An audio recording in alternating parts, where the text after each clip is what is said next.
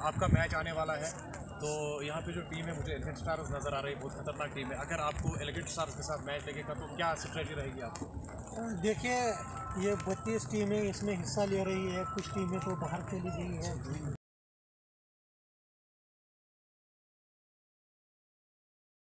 तो कोई भी टीम एक टूर्नामेंट में किसी भी श्रृंखला में कमज़ोर नहीं सब टीमें जितने भी उसमें पार्टिसिपेट वो भाग ले लेते हैं, हिस्सा ले लेते हैं तो वो सब बराबर होते हैं। एलिगेंट भी मतलब बराबर हमारी टीम बाकी टीमें भी, वो हमारे से हो सकता बढ़ के भी हों।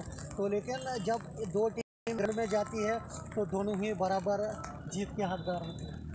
अच्छा ये जो एक अच्छा क्वेश्चन है हमारा कि ओपन और वन विलेज, ये बहुत बड़ा इशू है। आपको क्या लगता है open everything has its own importance मैंने पहले भी कहा कि one village as as this open tournament अगर कोई ये दोनों मतलब ओपन और वन विलेज को साथ साथ चलाएँगे कहीं पे भी जहाँ घास रहना की बात की जाए वहाँ जो ओपन, वन विलेज का जो वहाँ स्टैंडर्ड है, वो मैंने देखा तो किसी ओपन से भी कम नहीं है।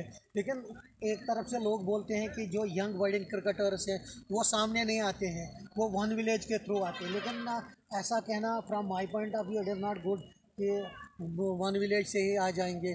तो कहीं पे भी जिसका कोई अच्छा जहाँ टैलेंट कहीं दिखता है, आज मैंने बॉक्स का एक लड़का देखा, लेफ्टी, वो बहुत अच्छा खेलता है।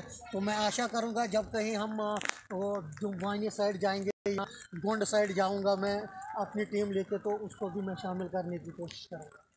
चलो चलिए, शुक्रिया।